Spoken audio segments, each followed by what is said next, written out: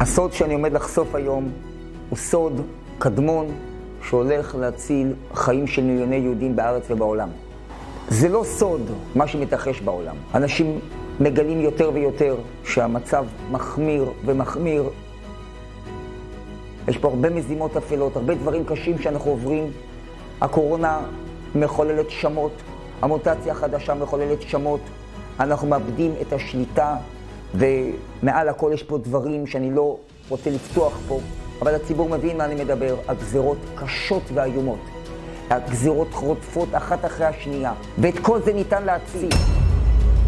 זה שאנחנו נמצאים עכשיו בתוך שואה, כן, אנחנו בתוך שואה. הציבור לא יודע את זה.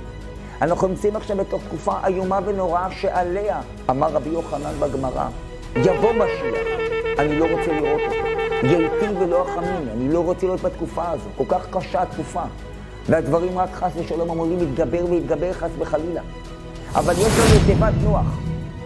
ישנה אפשרות להציל את הכל. יש תרופת פלא, סוד קדמון, שיופיע בזוהר הקדוש. רבי שמעון בר יוחאי מקבל הוראה ממשה רבנו. משה רבנו מגלה לו, בחיבור הזה שלך, עם ישראל יצא מהגלות ברחמים. הרמח"ל הקדוש ניסה לעשות את זה, שאם יהיה רצף של 24 שעות ביממה של זוהר, שום כוח לא יוכל לשלוט עליהם. ספר הזוהר מחולק להמון ספרונים קצרים.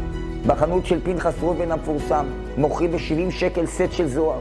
חמישה, עשרה אנשים לוקחים את הסט הזה, אפשר לגמור את זה עד פסח. אם עד פסח, אומרים צדיקי עולם, יסיימו אלף ספרי זוהר, אנחנו נעצור פה את השואה המתחללת ומתחזקת ומתחזקת. אנחנו נבטא את כל הקטרוגים מעם ישראל. שוב, מה הבעיה לסיים אלף ספרי זוהר? כל כך פשוט. לא צריך להבין את הזוהר. הזוהר נקרא בלי הבנה, הוא נקרא בגרסה בעלמא קוראים לזה. אבל המקובלים כבר גילו שגריסת הזוהר בונה עולמות עליונים. גריסת הזוהר מזככת את הקורא. גריסת הזוהר, השכר שלה זה עצם הגריסה שלו. לוקחים את הזוהר, מחלקים אותו, ומצטרפים לליגיון שמקימים חומת ברזל אדירה מול כל הקטרוגים. אנחנו נכניס את עם ישראל לתוך תיבת נוח שתציל אותנו מהמבול המשתולל ומתקרב. שהמלחמה הנוראה עכשיו עומדת לפרוץ בעולם, ומי יודע מה יהיה הסוף שלה. גריסת הזוהר זה הצלת העולם.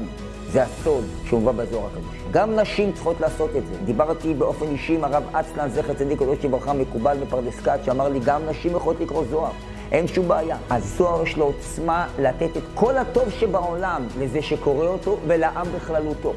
אחים ואחיות יקרים, המצב הוא קטסטרופלי. בואו נעצור את הכל. בואו נקים חומות, בואו נקים הגנות. מי לא רוצה להיות שותף בהצלת כל העם הזה?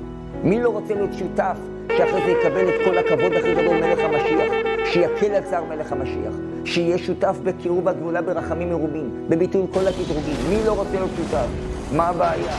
קדימה, רוצו לקנות את סט הזוהר. תתחילו להצטרף לחבורות חברות של גורסי הזוהר, ותקימו פה לגיונות לגיונות שיביאו את הגאולה ברחמים.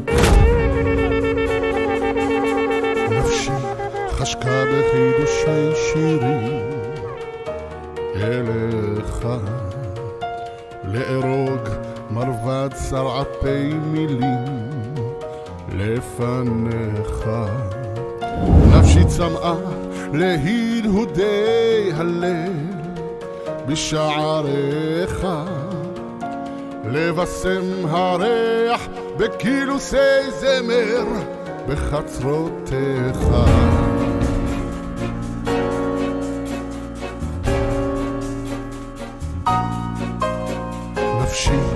כמהה לעינוגי קדושת דבריך לרבות הצמא באמרי מתיקות